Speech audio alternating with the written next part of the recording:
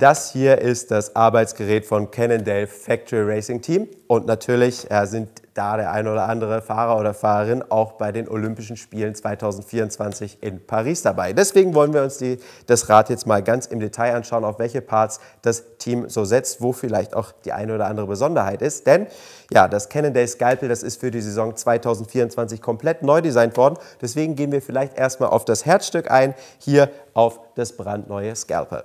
Ja, das wurde für das neue Modell ja nochmal deutlich flacher und trendiger designt. Das Interessanteste ist vielleicht, dass jetzt das Rad auf 120 mm Federweg setzt. Vorher gab es ja in zwei Varianten mit 100 mm und als SE mit 120 mm. Das fällt jetzt weg, nur noch 120 mm gesetzt. Ja, und typisch Cannondale Scalper ist natürlich die legendäre Lefty-Federgabel, die ist auch hier verbaut.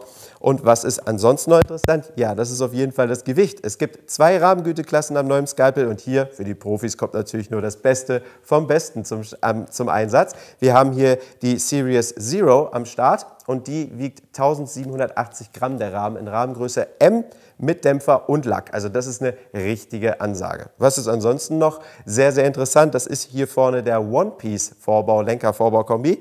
Ähm, ja, man sieht schon, die Züge laufen hier durch den Lenker, durch den Steuersatz dann in den Rahmen. Also das sieht richtig sleek aus.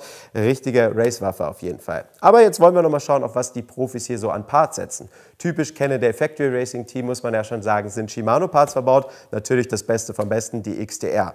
Je nach Fahrer oder Fahrerin kommen verschiedene Kettenblätter zum Einsatz. Also bis zu 38, teilweise sogar 40 Zähne werden hier gefahren. Schauen wir mal, was dann in Paris zum Einsatz kommt.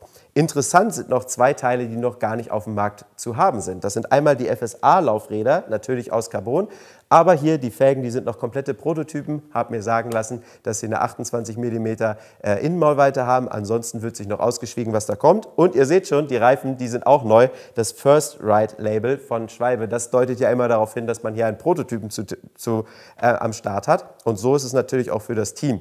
Die haben erstmal super leichte Reifen und auch ein neues Profil. Ähm, ich würde jetzt mal nach Augenmaß sagen, das ist ein Reifen, der so zwischen Racing Rife und Thunderbird angesetzt ist, also ein sehr schnell rollendes Profil.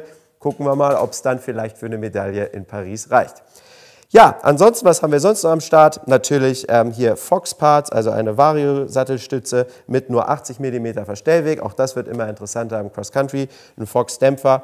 Ähm, ja, und natürlich auch eine Wattmesskurbel. So viel zum Rad vom Cannondale Factory Racing Team. Wenn ihr noch weitere Räder rund um das Olympiarennen sehen wollt, dann schaut bei uns auf der Website vorbei, bike-x.de. Und da findet ihr natürlich auch noch alles rund ums Thema Mountainbike. Klickt euch gerne rein. Bis dahin sage ich, alles ist fahrbar und bis zum nächsten Mal.